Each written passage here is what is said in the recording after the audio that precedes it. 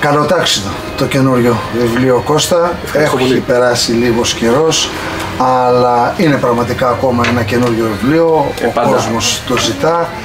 Δούριος ύπος με ένα εξαιρετικό εξώφυλλο της εκδόσης Διόπτρα. Κόντρα ρόλος είναι το βιβλίο αυτό γιατί για τη Λοιπόν. συγγραφική σου. Ε, ο Δούριο Ήπος για μένα ήταν ένα βιβλίο. Καταρχάς, μου αρέσει να γράφω διαφορετικά, να ασχολούμαι με διαφορετικά είδη κάθε φορά. Δηλαδή, το προηγούμενο, ας πούμε, το Ακάκι που ήταν μια, ένα ιστορικό και έτσι πιο βιογραφικό βιβλίο.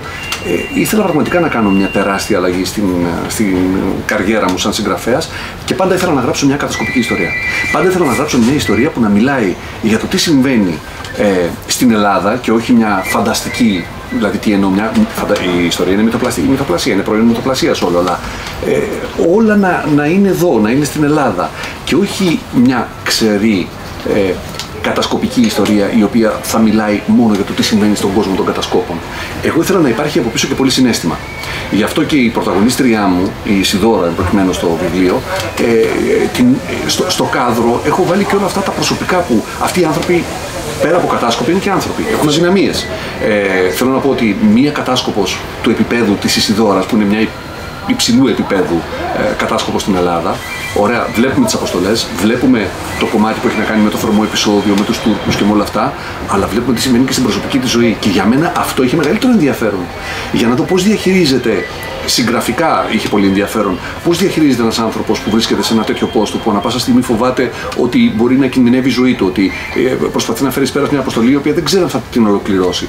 Τι συμβαίνει λοιπόν στη ζωή του, στο συνέστημά του, όταν ερωτεύεται και όταν ερωτεύεται μάλιστα και ανθρώπους και έναν άνθρωπο ο οποίος είναι και αυτό μέσα στην υπηρεσία. Είναι πολύ σημαντικό λοιπόν ο αναγνώστης να ξέρει ότι θα διαβάσει μια κατοικιστική ιστορία. Κατά, κατά με. Ήθελα δηλαδή, ε, προσπα- όταν έγραφα το βιβλίο, ήθελα ο αναγνώστης μου ε, να νιώθει όπως νι- θέλω να νιώθω εγώ όταν διαβάζω ένα τέτοιο είδους βιβλίο. Να μην μπορώ να τα αφήσω από τα χέρια μου. Ε, δηλαδή να θέλω να δω τι θα γίνει στην επόμενη σελίδα, να μην μπορώ να φανταστώ εύκολα τις διασυνδέσεις. Ας μην κρυβόμαστε, οι αναγνώστες πλέον είναι πολύ έμπειροι. Υπάρχουν αναγνώστες που ξεκινάνε ένα βιβλίο και στην, ε, πριν φτάσουν να κάνει στη μέση έχουν μαντέψει την συνέχεια. Άρα λοιπόν εμείς οι συγγραφείς έχουμε να διαχειριστούμε ε, πολύ Εδώ δεν διαφορετικά. συμβαίνει αυτό. Όχι, Σε όχι καμία γιατί, περίπτωση. γιατί θα, το έχω πει σε κάποιες παρουσιάσεις, δεν θυμάμαι αν το έχω αναφέρει δημόσια, υπήρχαν πράγματα που δεν ήξερα και εγώ πώς θα καταλήξουν. Τα άφησα ανοιχτά επίτηδε για να μην έχω, είναι αυτό που λέμε, βλέπεις τον ηθοποιό στο θέατρο και ξέρεις ότι στο τέλος θα πεθάνει. Ξέρεις ότι είναι ο δολοφόνος. Γιατί το παίζει, παίζει αυτό το πράγμα. Εγώ δεν ήθελα να υπάρχει αυτό. Ήθελα να υπάρχει αυτή η έκπληξη και σε μένα και πραγματικά φτάνοντας στο τέλος, η μεγαλύτερη δυσκολία στο δούριο ύπο ήταν το τέλος του βιβλίου όπου έπρεπε να κλείσω με αληθινό και πιστευτό τρόπο όλα αυτά που είχα ανοίξει ως εκκρεμότητες, έτσι ώστε να μην υποψιαστεί ο αναγνώστης ποιος είναι ο κατάσκοπος, με ποιον είναι αυτός ο κατάσκοπος, ε, τι γίνεται με τον έρωτα της Ισιδώρας, τι θα γίνει τελικά με τους Τούρκους. Θα γίνει αυτό το θερμό επεισόδιο, πού θα καταλήξει και νομίζω ότι ε, παρότι με δυσκόλεψε πολύ, ότι έφτασε είναι το βιβλίο που με δυσκόλεψε περισσότερο από όλα. Έτσι, ε, ο Δούριο Ήπος. Νομίζω ότι με το βιβλίο αυτό Κώστα βάζεις και πολύ ψηλά τον α, πύχη σαν α, λογοτέχνης, σαν συγγραφέας. Ε, ναι, παρότι δεν, δεν σκοπεύω να επανέλθω γρήγορα στο είδος. Δεν θα επανέλθω γρήγορα σε, γιατί μου πολλοί αναγνώστες που αγαπάνε αυτού του είδους τη λογοτεχνία μου λένε Σε παρακαλώ, ε, ξαναγράψε, μας άρεσε, θέλουμε τη συνέχεια, θέλουμε. Ε, ε, σου- θα πάω ξανά, θα ξαναγυρίσω. Ε, Τι, θα ξαναγυρίσω. Θα, θα επανέλθω σε αυτό που αγαπάω κι εγώ πολύ, στα βιβλία που το συνέστημα είναι πολύ πιο έντονο. Εδώ υπάρχει ένα επιχειρησιακό κομμάτι, λίγο ψυχρό, λίγο ε, που το ήθελα σε αυτό το βιβλίο. Ε, ε, χαίρομαι πολύ που το λες, χαίρομαι πολύ που αρέσει το Δούριο Σύπο στου αναγνώστε. Εγώ στόχος μου είναι σε κάθε βιβλίο μου να γίνομαι καλύτερος. Αυτό κάνω και τώρα. Δηλαδή, παιδεύω το μυαλό μου στην επόμενη ιστορία μου να παραθέσω μια ιστορία στους αναγνώστες μου όταν με το καλό εκδοθεί που να πούνε Ωπ, αυτό είναι κάτι καινούριο, κάτι λίγο διαφορετικό. Να μην θυμίζει κάτι από τα προηγούμενα βιβλία μου ή από τα πολύ πετυχημένα βιβλία μου, ας πούμε, που μπορεί να είναι μια συνταγή. Και αυτό είναι δύσκολο, είναι πολύ δύσκολο. Ε, αλλά έχει και τη γοητεία του. Όσοι έχουν διαβάσει το βιβλίο σου και έχω μιλήσει μαζί τους, με ρώτησαν αν έχεις και ε, μαντικές ικανότητες, αν είναι προφητικό το βιβλίο, γιατί το βιβλίο αυτό γράφτηκε πολύ πιο πριν αρχίσουν Δύο χρόνια αυτές οι- σχεδόν πριν, οι έτσι. λεκτικές αψιμαχίες με τον Τούρκο και το πιθανολογούμενο ε, θερμό επεισόδιο. Εντάξει. Α μην κρυβόμαστε. Με τους Τούρκους είμαστε σε 500 χρόνια σε πόλεμο, σε, εμπόλεμη, σε, πόλεμο, σε εμπόλεμη κατάσταση και κάποια από αυτά σε κανονικό πόλεμο. Ε, δεν είναι, δεν πρέπει να είσαι κρονοστράδαμο για να μαντέψει ότι ανά πάσα στιγμή μπορεί να υπάρξει μια ένταση. Αυτό που εγώ ένιωθα το τελευταίο διάστημα όταν καταπιάστηκα με την ιστορία αυτή είναι ότι έχει οριμάσει και φαίνεται τώρα. Δηλαδή, ανά πάσα στιγμή μιλάω με ανθρώπους, είναι ένα καζάνι που βράζει, όπως λέει και το πιστόφυλλο που γράφει το υγιέν είναι ένα καζάνι που βράζει. Ε, και νιώθω ότι ανά πάσα στιγμή είτε από ένα τύχημα είτε από οτιδήποτε μπορεί ξαφνικά να βρεθούμε, να τρέχουμε και να λέμε ό,τι γίνεται. Όχι, δεν είναι θέμα αμυντικών ικανοτήτων.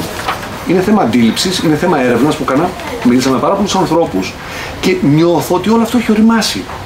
Από την άλλη, αυτή η γοητεία που έχουν όλοι αυτοί οι άνθρωποι που στο παρασκήνιο που εμείς δεν θα μάθουμε ποτέ ούτε τα ονόματά τους, ούτε πόσο βοήθησαν τη χώρα τους, ούτε αν πρόδωσαν τη χώρα τους κάποιοι από αυτούς. Γιατί κάποιοι προδίδουν κιόλας τη χώρα τους, έτσι.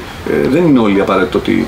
Ε, αυτή η γοητεία αυτού του μυστικού κόσμου που υπάρχει λοιπόν ε, στο, στον κόσμο της κατασκοπίας ε, εμένα με, μου έδωσε έτσι πολύ μεγάλη όθηση και χαρά να ασχοληθώ με αυτό το κομμάτι και να γράψω αυτή την ιστορία. Κώστα για να πάρει και ο κόσμος που αυτή τη στιγμή σε βλέπει να ε, μας λες τι περιέχει το βιβλίο. Μπορείς να μας διαβάσεις λίγο έτσι από την πρώτη σελίδα αυτό το σύνορο Αρμενίας-Τουρκίας μέχρι εδώ πίσω που Πού έχω σημειώσει και να πάρουμε μια γεύση από τη γραφή του βιβλίου. Κοίταξε, εδώ λόγω της άλλης μου ιδιότητας ε, έχω ένα μικρό πλεονέκτημα. Ε, και επειδή κάνω και audiobook, έχω κάνει και σε audiobook το βιβλίο, οπότε έχω ένα μικρό πλεονέκτημα στην ανάγνωση. Λοιπόν, είναι το πρώτο κεφάλαιο του βιβλίου, σύνορα μεταξύ Αρμενίας και Τουρκίας με ένα κόκκινο μαντίλι στο κεφάλι που άφηνε μόνο τα μάτια μου ακάλυπτα, προσπαθώντας να μην ξεχωρίζω από τις ντόπιες γυναίκες, αναζητούσα ανάμεσα στα μισογκρεμισμένα σπίτια τον στάβλο όπου ήξερα πως κρυβόταν ο τραυματισμένος συνάδελφός μας.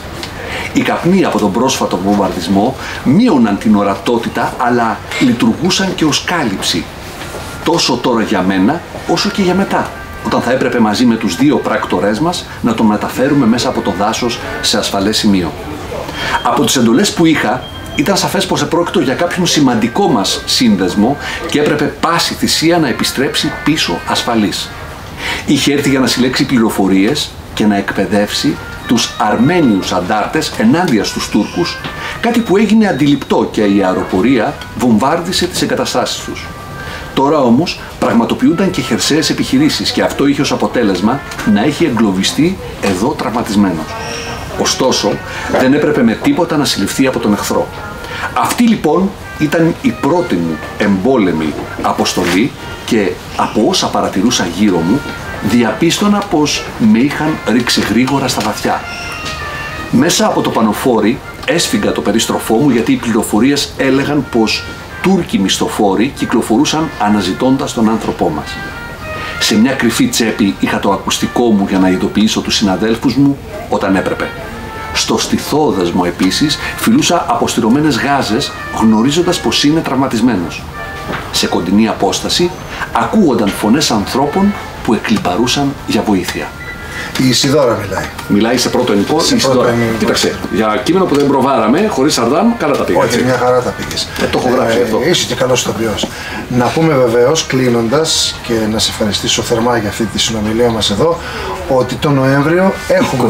23 Νοεμβρίου, ημέρα ο Ιαννός, Τετάρτη. Ημέρα Τετάρτη, τι ώρα θα είμαστε περίπου; 8.30. 8.30. Ε, ο Ιαννός μου κάνει μια τεράστια τιμή, θα παρουσιάσουμε το συνολικό συγγραφικό μου έργο, 10 δηλαδή, τα 10 μυθιστορήματά μου, όπου 10 ξεχωριστές προσωπικότητες, και αυτό είναι μεγάλη τιμή, θα μιλήσει ο καθένας τους από λίγο για το κάθε μου βιβλίο. Αυτό είναι μια τεράστια τιμή και σας ευχαριστώ πολύ. Το περιμένουμε πώς και πώς.